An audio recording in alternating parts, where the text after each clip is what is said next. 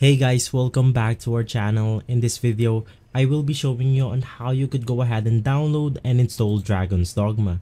This is a step-by-step -step guide so you should be able to follow easily. Now you want to go ahead and open up your browser right here and just go ahead and type google.com.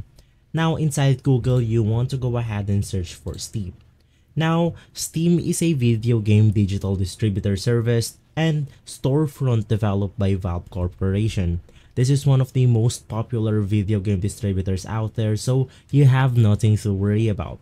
After heading over to their website right here, just go ahead and make sure that you have already signed up into their website. After that, you could go ahead and see a bunch of games right here, but we are looking for downloading the Steam client. You could just go ahead and do that by clicking on the install Steam button right here, right beside your profile icon. After that, you will be able to see this button where you could go ahead and download and install Steam directly into your computer. After installing Steam, just go ahead and open up the application and you will be once again be prompted right through their storefront. You want to go ahead and search for your game.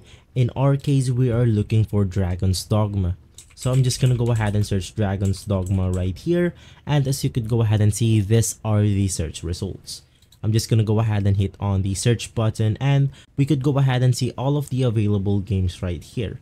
So if I go ahead and click Dragon's Dogma, you will then be able to purchase your game and download and directly play it into your computer. Just go ahead and scroll down until you find the pre-purchased Dragon's Dogma 2. Currently, it's not yet available. It's coming at 22 March 2024, so this game will come out at approximately 8 days.